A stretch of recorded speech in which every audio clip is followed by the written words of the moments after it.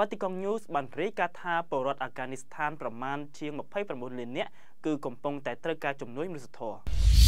ប្រពន្ធដដែលបានរាយការណ៍ថាពលរដ្ឋអាហ្គានីស្ថានគឺកំពុងតែប្រឈមមុខនឹងវិបត្តិសេដ្ឋកិច្ចនិងកំពុងតែត្រូវការជំនួយមនុស្សធម៌ជាច្រើនតាំងពីឆ្នាំសង្កូវការងារនិងការអប់រំឡើងទៅ។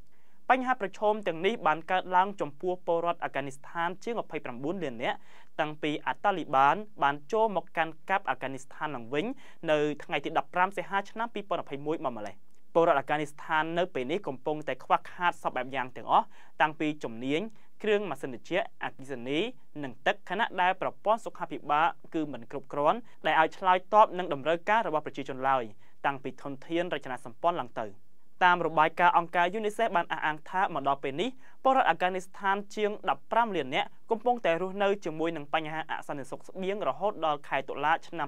2023ហើយក្រៅពីនោះជាង29លាននាក់កំពុងតែត្រូវការជំនួយផ្សេងៗ